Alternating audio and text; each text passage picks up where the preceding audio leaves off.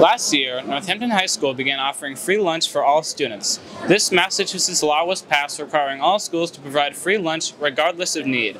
Unfortunately, since students are required to take one of each food group, there is a lot of waste produced.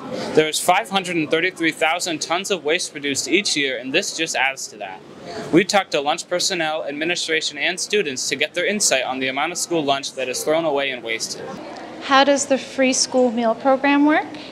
It is a federally reimbursed program that requires public schools to offer um, during certain times of the day. So at breakfast, we are offering certain components, and students have to take at least three items, one of which has to be a fruit and or vegetable.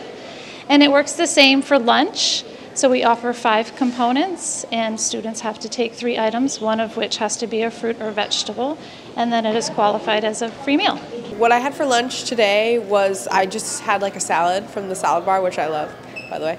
Um, and I didn't really throw away a lot. I ate it all. It was good. I usually get school lunch every day. I usually only eat like the main part of the meal, like the burger, and maybe like if they have fries, I'll eat the fries. But honestly, I'm gonna say I throw away like 45 to 60 percent of the lunch most of the time. Like if it's really terrible, there's no like good sandwich or salad or anything, then I won't get anything.